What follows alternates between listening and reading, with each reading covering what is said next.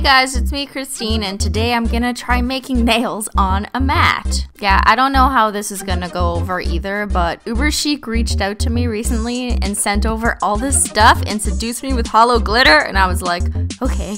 Uber Chic is an indie stamping plate company that started about a year ago and they also sell some other nail art stuff, but their biggest product is the Uber mat, which apparently they invented after ruining furniture. So now that I know how to stamp, well, sort of. Let's play with Uber Chic stampers and plates. But first, it's experiment time on this mat thing, because I gotta figure out how the hell to use it first before I show you how to use it. Look, you can use it to test color combos, although I always know that any holo color combination is a good one, because it's holo and there's rainbows. And you can use the Uber mat to make drag marble decals, or decals, de decals, decals, de decals, I, whatever, I don't care how you say it. But it's like all those Russians you see doing this, except we need to do it on a mat multiple times to practice. Clearly, I don't know what these patterns are supposed to be, but I never said I was trying to do anything that looked good. But you get the point of how you can use this mat. Then you would just peel them off when they're dry, and oops, I think this is why you're supposed to put a top coat down first on the mat. Yeah.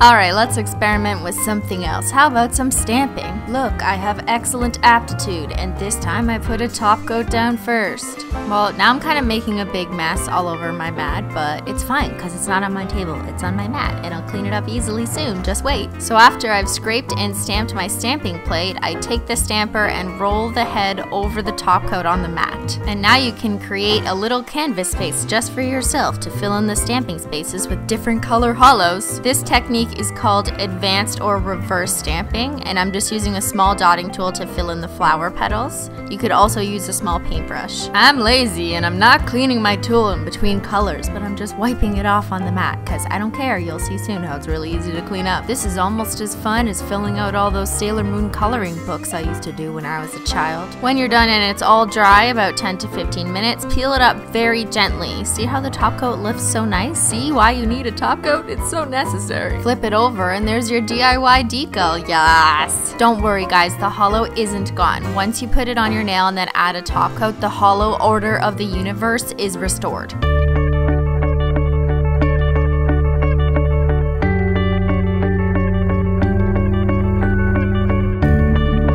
But I didn't put this on my nail because that was just for fun, along with all these other experiments that I did that didn't work out too well. And now I've got a mess all over my mat. But what do I do? Not that much actually, it's super easy to clean. Just peel up any large pieces of dried polish and then take some acetone or nail polish remover and just wipe away the rest of it with a cotton soaked pad. The Uber mat is completely resistant to acetone and nail polish remover. Now if only my house were this easy to clean. Okay, let's begin for real. We're gonna make these nails now. I start off by applying top coat down on the mat in five different spaces I'm gonna do for each of my five nails, but if you're a normal person, then you probably wanna plan for 10 nails. Then I just take some black stamping polish, this one's from Mexico, and I'm pretty sure it's car paint, and scrape it over the plate using an Uber Chic credit card like thingy. I'm pretty sure this is the XL sticky stamper head by Uber Chic that I'm using because it's kind of sticky. But what the hell do I know about? I don't know shit. All I know is that right away I had to roll the stamper over the top coat on my mat and then look at all of my creations.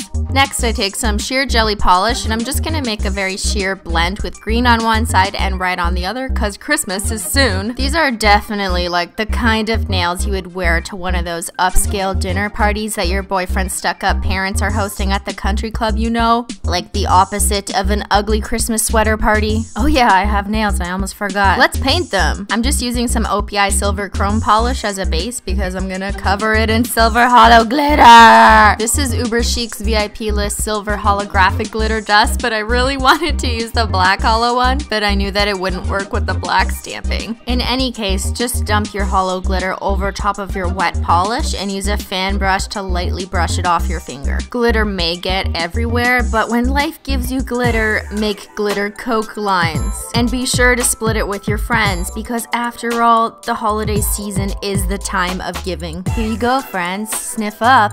You're welcome. I just cleaned up the Coke party with the Uber Chic credit card thing and my fan brush and put it back into the container for next time. Okay, back to things on the mat. Peel off your self-made decals carefully, and then the idea is that you're gonna stick these on your nail over top of the glitter, so that the glitter shows through the clear part of the jelly thingy. You could just stick this massive piece right over your nail and then cut around the edges and dissolve more of the edges with acetone, but I prefer to cut it out beforehand as close as possible to the shape of my nail before sticking it on. Mostly because I still can't find those magical Russian scissors. Just take some top coat or clear nail polish and put it on your nail to make it wet so that the decal will stick. Then just press the decal down gently all around your nail. To quote unquote seal the edges, you just take a cleanup brush dipped in acetone and gently press around the edges of the nail. Add a final glossy top coat to bring out all that holo sparkle under the jelly decal and bam! This is the most elegant and sophisticated my nails have been since ever. Well, that was pretty easy and awesome, right? There's so many possibilities with this mat. You can find the stamping and glitter products and the Uber mat that I used in this video at Uber Chic's website. I put the link down below, and don't forget you can use my code SIMPLY for 10% off your entire order. Thanks so much for watching, guys. Bye. Hello, bye. Hello, bye. Hello, bye. Hello, bye.